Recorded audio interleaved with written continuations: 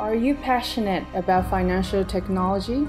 Did you know that LinkedIn declared blockchain to be the most in demand job skill for 2020 and beyond? Did you also know that, according to McKinsey, blockchain is the backbone of Industry 4.0, a major revolution that is transforming information transparency, assistance, and interconnection? If you knew all this, then the RMIT FinTech Blockchain Competition is for you. Blockchain has many more applications than Bitcoin and crypto assets. With blockchain, strangers can trust each other, transact peer to peer for the first time in the modern economy, without the need for intermediaries such as governments or commercial banks. This means that blockchain technology can be of huge benefit to industries where data security, transparency, and traceability are important especially in finance.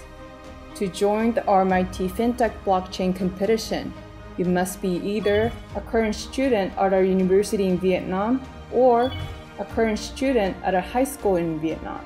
You will form a team with three members.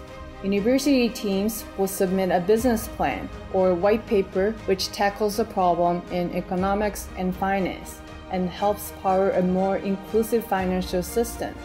High school teams will submit a business plan or a white paper which uses blockchain and fintech to solve a real world problem and build a better society.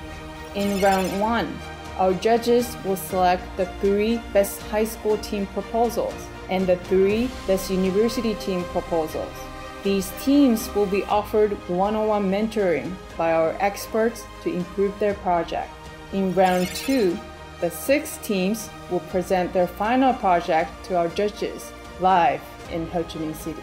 The best high school and the best university team will be the winners of the RMIT FinTech Blockchain competition.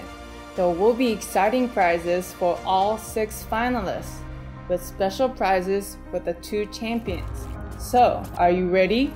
Then register now for the RMIT FinTech Blockchain competition and keep visiting our Facebook page for more information and updates.